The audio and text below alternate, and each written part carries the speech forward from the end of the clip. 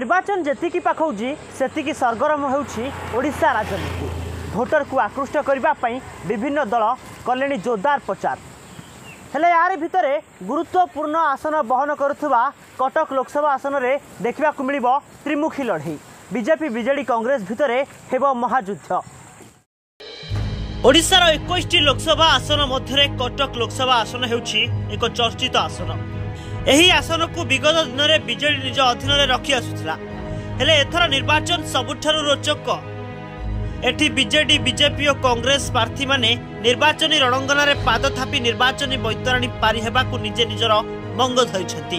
ତେବେ ଏଥର ହେବାକୁ ଯାଉଛି ଦମଦାର ନିର୍ବାଚନୀ ଲଢ଼େଇ। ଯେଉଁ ଲଢ଼େଇ ଏବେ ସବୁଠାରୁ ଚର୍ଚ୍ଚାରେ। ଏଠାରେ ବିଜେଡିରୁ ସନ୍ତୃପ୍ତ ମିଶ୍ର ବିଜେପିରୁ ଭର୍ତ୍ତୃହରି ମହତାବ ଓ କଂଗ୍ରେସରୁ ସୁରେଶ ମହାପାତ୍ର ପ୍ରାର୍ଥୀ ହୋଇଛନ୍ତି।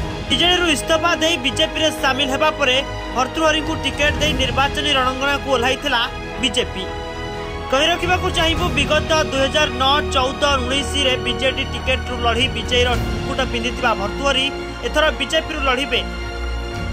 ସେହିପରି ବିଜେପିକୁ ଅର୍ଥାତ୍ ଭର୍ତ୍ତୃହରିଙ୍କୁ କଳା ଟକ୍କର ଦେବା ପାଇଁ ବିଜେଡି ସନ୍ତୃପ୍ତ ମିଶ୍ରଙ୍କୁ ପ୍ରାର୍ଥୀ କରି ସମସ୍ତଙ୍କୁ ଚମକାଇ ଦେଇଥିଲା। ଏପଟେ କଂଗ୍ରେସ ମଧ୍ୟ ସୁରେଶଙ୍କୁ ଟିକେଟ ଦେଇ বিজেডি বিজেপি সহ কড়া টক্কর দেবে বলে তেবে এই লোকসভা আসনকু এথর কব্জা করা তিন দল নিজ নিজ রণনীতি প্রস্তুত করে সারি হলে কুযাচ্ছে দুই দল অর্থাৎ বিজেপি বিজেডি ভিতরে মহালড়াই হওয়া যাচ্ছি কটক লোকসভা আসন এপটে কংগ্রেস প্রার্থী সুরেশ মহাপাত্র নিজের বল গোটাউছেন বলে আলোচনা হচ্ছে বর্তমান কটক লোকসভা আসন হাইভোল্টেজ নির্বাচন লড়াই দেখা মিলিথিবা কি বাজি মারুছি তাহা সময় কইব କଟକରୁ ଲକ୍ଷ୍ମଣ ଦାସଙ୍କ ରିପୋର୍ଟ ନ୍ୟୁଜ୍ ଏଇଟିନ୍ ଲୋକାଲ